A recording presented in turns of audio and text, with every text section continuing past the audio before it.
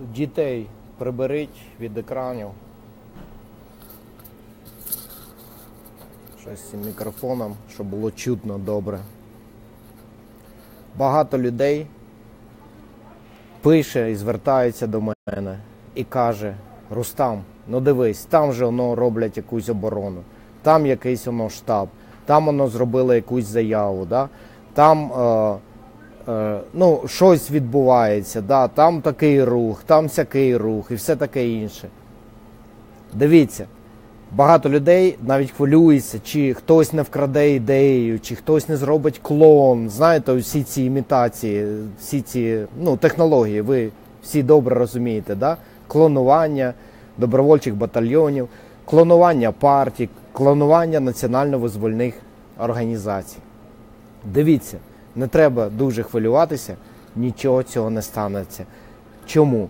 Тому що є принципова різниця між будь-яким рухом, штабом, е, будь-яким не знаю, зібранням, мітингом, чи всім чим завгодно, і тою ідеєю, яку пропоную я. Повторюю, заберіть дітей від екранів зараз.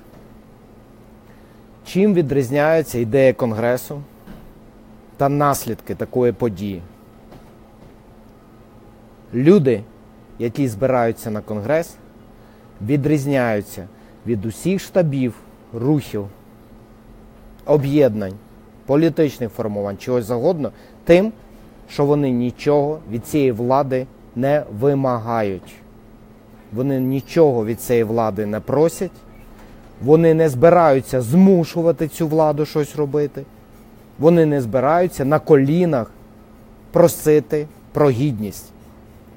Люди, які збираються на цю подію, і люди, які будуть потім керуватися резолюціями цієї події, кажуть одне: ідіть ви нахуй, підараси, вбивці, ворюги та кати. Ідіть ви нахуй. І якщо ви не підете нахуй, ми вас змусимо силою туди піти. Ви будете відповідати за кожного закатованого та вбитого українця, за кожну щасливу долю кожної української дитини, яку ви вкрали у цієї дитини, у цієї сім'ї.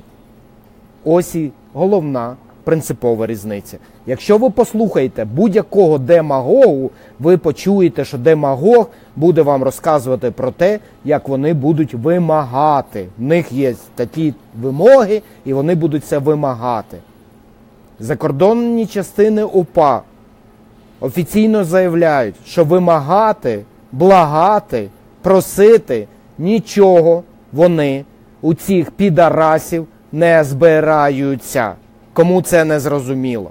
Цих підарасів ми будемо ставити перед фактом проведення конгресу, перед фактом резолюції, який прийме цей конгрес, і перед фактом виконання цих резолюцій. І бігти вони, втікати будуть поперед власного хрюкання. І будуть вони пакувати свої валізи, і будуть вони свої гроші намагатися кудись ховати. Але проблема в тому, що цей маховик справедливості, коли він розкрутиться, коли люди, які сьогодні дають лише 5% за свободу, або правий сектор, або будь-яку іншу організацію, в яких вони зневірилися, коли люди побачать, що епоха безкарності вже минула що безкарності в Україні вже не існує, тоді цей маховик розкрутиться. І коли він розкрутиться, ніде вони не сховають свої гроші і свої сраки. Ми їх по всьому світові витягнемо, повернемо з краденими грошами і статками, і маєтками назад в Україну, і там до них буде відбуватися справедливе правосуддя. А почнемо ми це так як в нас буде виходити. Якщо людина отримає вирок 25 років каторжних робіт, і якщо таємна екзекюта буде його а, у місце відбування цього вироку конвоювати, ну, слухайте, і з В'ячеславом Чорноволом щось сталося по дорозі, да? і з Кузьмою Скрябиним під час подорожування щось сталося. Тому закордонні частини УПА не можуть гарантувати повної безпеки під час будь-якого транспортування або подорожі. Ну, то таке вже діло. Але бігти будуть поперед власного хрюкання. І ніхто ні в кого не збирається ніяк, ніяких робити вимог, прохань, благань, а, якогось там подивіться на нас, ви ж нас грабуєте. Вони все прекрасно знають. Їм нічого цього казати не треба. З ними будуть розмовляти єдиною мовою, яку вони розуміють мовою сили. В мене все.